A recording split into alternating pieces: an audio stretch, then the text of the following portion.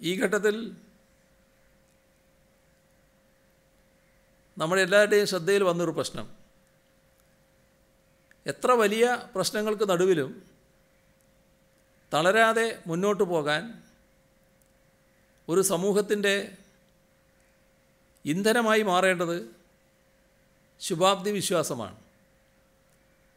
പ്രതീക്ഷകൾ ഉയർത്തിപ്പിടിക്കുകയും നിശ്ചയദാർഢ്യത്തോടെ വെല്ലുവിളികളെ മറികടക്കുകയും ചെയ്യേണ്ട ഈ ഘട്ടത്തിൽ നമ്മളെല്ലാവരും പരസ്പരം പ്രചോദിപ്പിച്ചേ തീരൂ.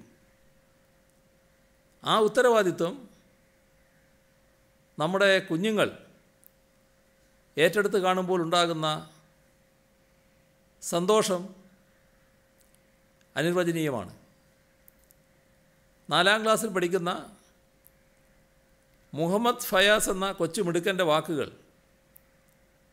നമ്മളൊന്നാകെ സ്വീകരിച്ച് ഹൃദയത്തോട് ചേർത്തതും മറ്റൊന്നുകൊണ്ടുമല്ല.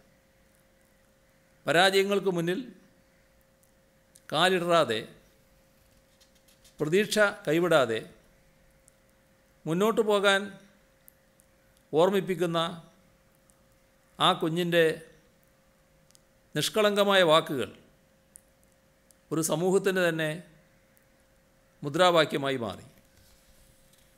ഫയാസ് തന്റെ ചിന്തകളെ വാക്കുകളിൽ ഒതുക്കാതെ പ്രവൃത്തികളിലൂടെ മാതൃക തീർക്കുകൂടി ചെയ്തിരിക്കുന്നു.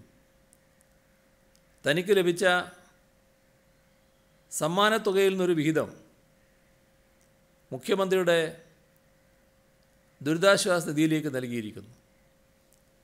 ഇന്ന് മലപ്പുറം കലക്ടർ അത് ഏറ്റുവാങ്ങിയിട്ടുമുണ്ട്. ബാക്കി തുക ഒരു നിർധന കുടുംബത്തിലെ പെൺകുട്ടിയുടെ വിവാഹത്തിനായി നീക്കി വെക്കുകയും ചെയ്തു. ഏവരും പിന്തുടരേണ്ട ഉദാത്തമായ സാമൂഹിക ബോധമാണ് ഒരു കൊച്ചുകുട്ടി നമുക്ക് പകർന്നു തന്നത്. ആ പ്രതീക്ഷയും ദയാവായ്പുമാണ് നമ്മെ നയിക്കേണ്ടത്. ഫയാസിനെയും കുഞ്ഞിന് പിന്തുണ നൽകിയ രക്ഷിതാക്കളെയും ഹൃദയപൂർവം അഭിനന്ദിക്കുന്നു.